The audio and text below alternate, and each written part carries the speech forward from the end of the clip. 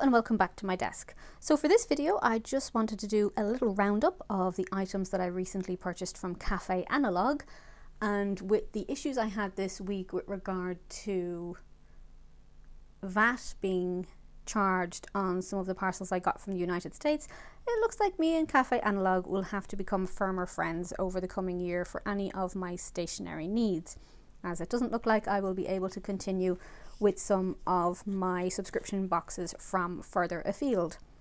In getting everything together for today's video, I was like, is that all I bought? And of course, when the box came, I was like, oh my god, what did I buy? But anyway, let's have a look at some of the items I bought. And let's look at the ones that are in camera shot at the moment. So these are some ink stamps, which are quite wonderful. This one is metal. I'll try and take it out of the box now. And the design, as you can see, is a forest with the moon. So it slides out, which for some reason I love. Reminds me of those little matchbox creatures you could get. And as you can see, I have used it with a green already. Lovely quality stamp there. The second one took me by surprise. As always, I can't quite remember what I ordered, but my recollection was that I had ordered what I thought was just this. But then the box arrives and there are two wonderful stamps in it. And obviously cost was no object to me because I was ordering them. And then it comes with this. Some paper. But the paper is wrapped in a little brown strip and has a ink stamp on it. Or not an ink stamp, a wax stamp on it. So I just love it. And I can't wait to use these. Another item I bought, another stamp I bought was this word of the day and you stamp out the stamp and then write in your word and the date and write that sums uh, it up for the day.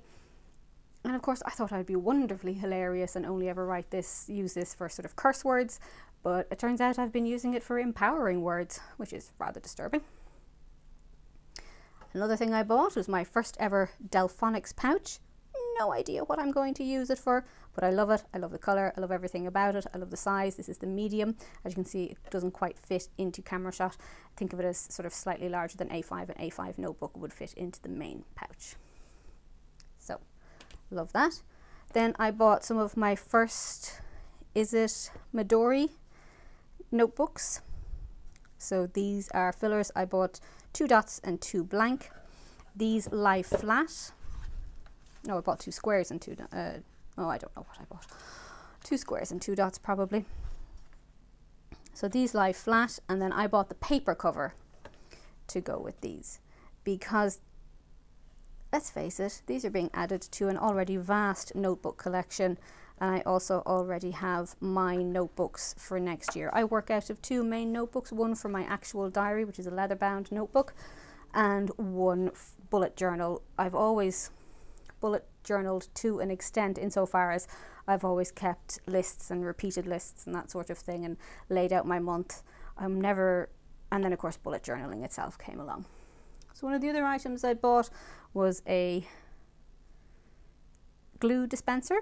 I like these glue roller dispensers. I'd bought some Pritt Stick ones and I just wanted to try this one, which was stocked at Cafe Analog. The card is just something that uh, the owner sent along to say thank you for your order, which I love. As I say, you always get this personal touch with these smaller, more specialised shops. Now, as always, I'm probably going to hold something upside down, but I bought these. These are ink beans. These are the first time I'd ever seen them. And the idea behind these is that you can ink different elements of your stamp with different colours. So I brought three sets.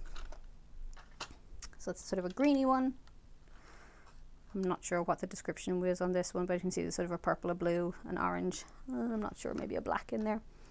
And then this one.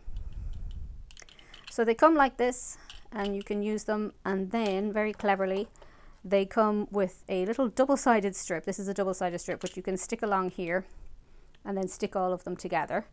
But then to identify them you get a little sticker. Oh, where's it gone? There's, there's one. You get a little sticker to stick on the side of the little unit. So I thought that was super cute. And yeah, that was it. And as I said, when it came, I was kind of trying to hide it and thought I'd ordered a heck of a lot more. But I was super restrained. Super restrained. So thank you for watching. And uh, as I say, there will probably be more material from Cafe Analog coming because I won't be able to buy from the United States anymore, which is Rather unfortunate. Okay, bye. See you in the next one.